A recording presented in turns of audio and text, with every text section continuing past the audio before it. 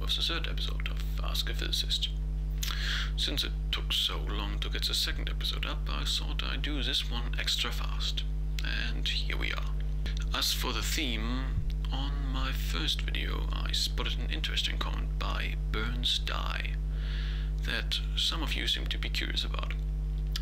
He says, As a kid, I always wondered what would happen if you made a tunnel through the earth and jumped into it. This concept might seem laughable at first, but actually there's some interesting physics involved here.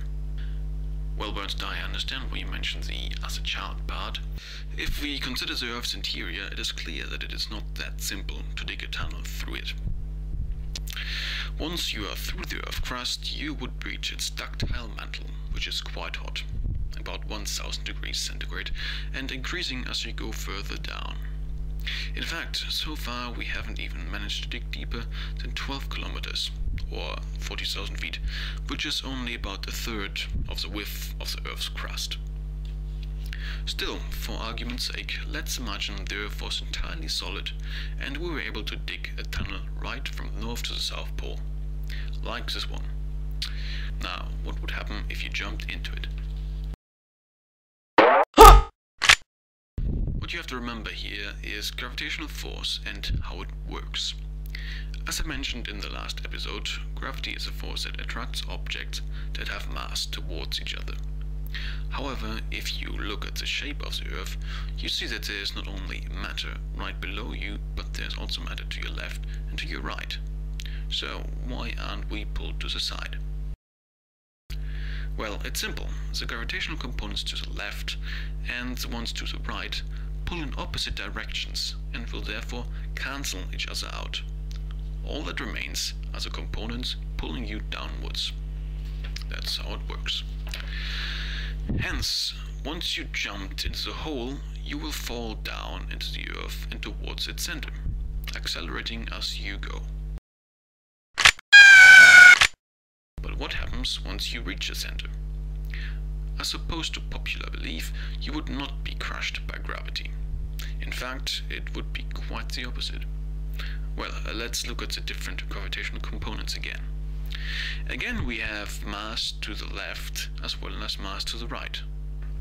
So the components will cancel out. Uh, furthermore, we also have equal amounts of mass below and above. So these components cancel as well. As a result, once you reach the center of the Earth, you are completely weightless, as if you were in outer space. There are no forces pulling you in any direction. However, since you've just been falling for about 4,000 miles, you'd be traveling at a tremendous velocity, and you'd be shooting right through the center and back towards the surface of the Earth. After you pass the center, however, there will be more matter behind you than ahead of you.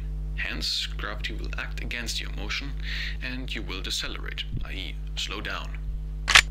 In an ideal scenario, the point where your velocity reaches zero is exactly the same height at which you jumped in, but at the opposite side of the Earth. Now, unless you grab hold of something once you get there, the same process will repeat itself over and over again.